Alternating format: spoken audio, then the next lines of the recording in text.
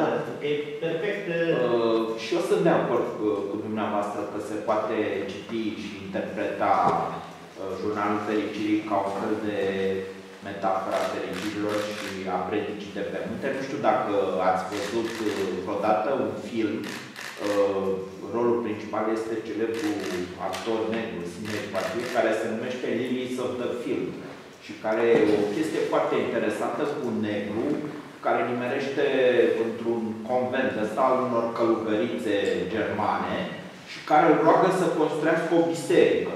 Și tipul ăsta inițial neagă, zice că nu știu ce și îi arată exact predica de pe munte și spune, uite așa trăiesc clinii, sunt cei mai îmbrăcați, nu știu ce, și până la urmă el convins de chestia asta, el protestant, călugărițele germane și catolice, găsesc un punct comun în uh, Biblie, deci am, se înțeleg pe baza Bibliei.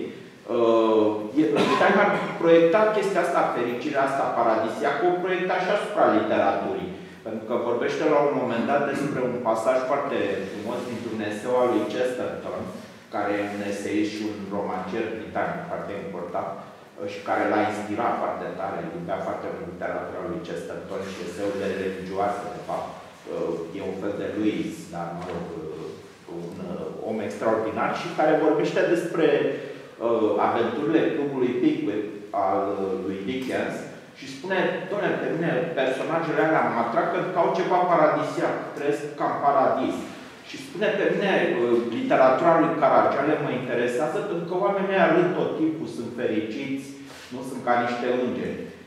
Spune la un moment dat într-un text, gândiți-vă că extrema dreaptă, că legionarii și Lovinescu se refereau la personajele din Caragiale, Lovinescu le făcea borile și extrema dreaptă spunea nu mai ieșim niciodată, băi frate, din Caragiale ăsta, deci jegul lui Caragiale, ironia, percepeau foarte diferit lumea asta pe care uh, Steinhardt o percepe ca fiind un imens carnaval, așa, și băieții aia tot timpul râzând și Caragiale însuși spunea, zice, noi am râs destul, acum e vremea voastră ca să suferiți. Deci, anticipând primul război mondial, cu largul, comunismul, deci a avut o ieșire din asta în care și-a dat seama.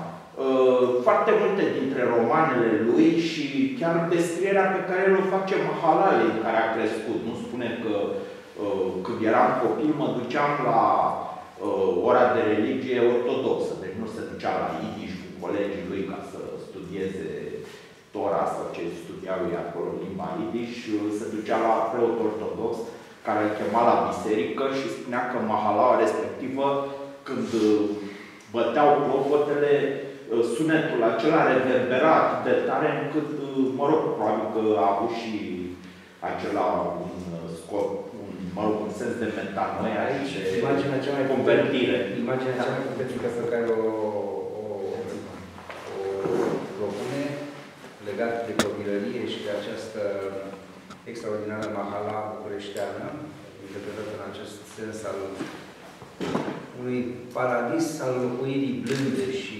politicoase, este faptul că uh, mama sa, care nu era, bineînțeles, creștină, îl ducea copil fiind la Biserica Capra Exact. și săruta uh, uh, icoanele Sfinților în prezența, în prezența ei.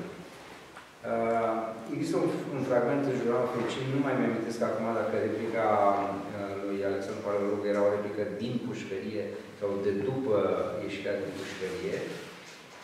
Când uh, uh, Alexandru Paleologu îi spune, măi Nicule, tu ai devenit teolog. Tu pe toate le vezi ca un teolog. Uh, așa este. Ultima figură, figura esențială a lui Nicolae Steinhardt este cea, acea a teologului, a teologului ortodox. Uh, și a teologului, așa cum este definit uh, de uh, Pateric, a, adică a omului care, cine e teolog? Cel care se roagă. Rugăciunea este arma pe care finalmente o, o descoperă fiecare, fiecare uh, dintre cei care, să numim deocamdată în această categorie a celor care se convertesc. Da? Uh, bineînțeles că este arma tuturor celor care, celor care cred. descoperă uh, convertitul, în cazul nostru, Steinhardt, este această extraordinară putere și necesitate a rugăciunii. Și chiar mănăstirea din Arohia e un paradis verde și... Și toată căutarea de, de, E foarte frumos. din pușcărie și pe urmă de după închisoare este o căutare permanentă a rugăciunii și a încadrării într-un, în, în acest model al uh, salvării prin rugăciune și sigur și prin, prin, uh, prin uh, lucrare. Uh, Domnul Andrei? Da. Frumos să